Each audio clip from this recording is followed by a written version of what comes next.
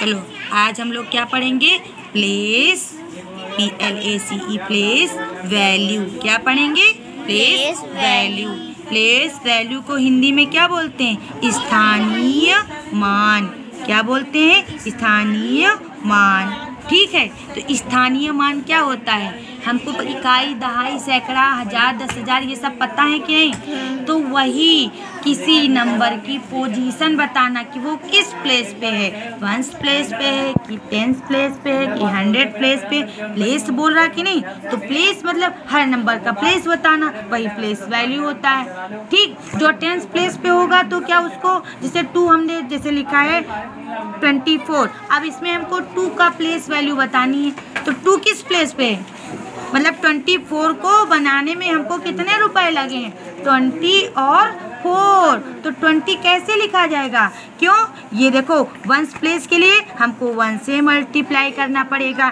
Tenth place के लिए हमको उस नंबर को किससे मल्टीप्लाई करना समझ में आया कि नहीं? तो अब ये क्या हो जाएगा? फोर वन जा फोर और टू टेन जा ट्वेंटी तो मतलब क्या हो गया? टू की प्लेस वैल्यू क्या हो गई? Twenty.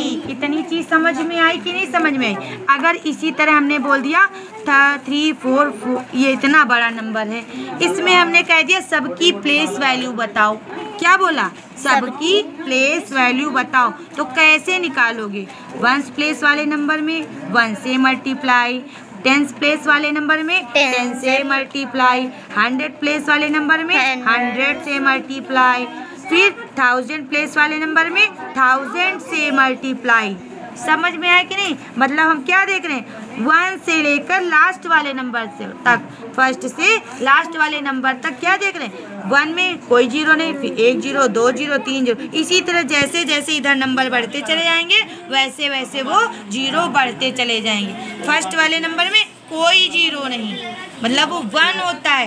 One ten hundred thousand ten thousand lakh ten lakh crore इस तरह। समझ में आए कि नहीं? अब जैसे सबका निकालना हो टू वन जा टू फोर टेन जा फोर्टी फाइव हंड्रेड जा फाइव हंड्रेड ठीक, इसमें थ्री थाउज़ेंड थ्री वन जा थ्री थ्री के बाद जितने ज़ीरो वो लिख दो। समझ में आया कि नहीं? समझ में आया कि प्लेस वैल्यू क्या होती है। हेडिंग को दिखाओ कि ये प्लेस वैल्यू हमने क्या पढ़ा आज? प्लेस वेल अगर कोई बोल दे अच्छा ये जैसे नंबर लिखा है तुमको बोल दे कि किसी का नहीं निकालना है केवल तुमको फाइव की प्लेस वैल्यू निकालो। किसकी प्लेस वैल्यू निकालो? फाइव तो कैसे करें? केवल हमने फाइव लिखा। फाइव इंटू वन लिखा। क्या लिखा? फाइव इंटू वन अब हमने देखा फाइव के बाद कितने नंबर हैं? वन टू थ्री थ्री है ना? जितने नंबर हो उतने ही वन के बाद लिख दो। समझ में आया कि नहीं? इंटू वन तो ज़रूर लिखना है लेकिन हमको देखना है कितने नंबर हैं। जितनी डिजिट हो उतने ही ज़ीरो वन में लगा दो। जैसे हमको इस प्लेस का लिखना हो ज़ीरो इंटू वन तो लिखना है? इंटू वन तो सबके साथ लिखना है। लेकिन हमको देखना है कि अभी इसमें ज़ीरो लगाने की ज़रूरत है कि नहीं है। वन ज़ीरो के बाद कोई है नंबर नहीं है। नहीं है। तो ज़ीरो नहीं लगेगा। समझ में आया कि नहीं समझ?